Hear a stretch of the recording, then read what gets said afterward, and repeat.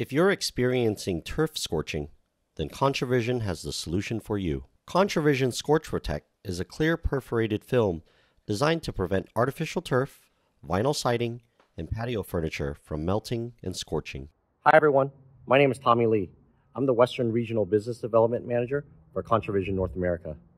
It's a very hot, sunny day here in Las Vegas, Nevada, and I'm out with one of our customers, Golden State Tint, where they'll be installing some ContraVision Scorch Protect on the windows of their client's home. Their client recently got some artificial grass installed in their backyard. However, the hot sun is reflecting off of the windows of the home and causing the artificial grass to burn. Let's go back there and see what it looks like. The film uniquely features 0.08 inch diameter holes comprising 50% of the surface area, which maximizes through vision and allows natural light into the home, all with minimal impact to the appearance of the window. This waterproof polymeric perforated film is quick and easy to apply to commercial and residential exterior windows, and once applied has a lifespan of at least three years.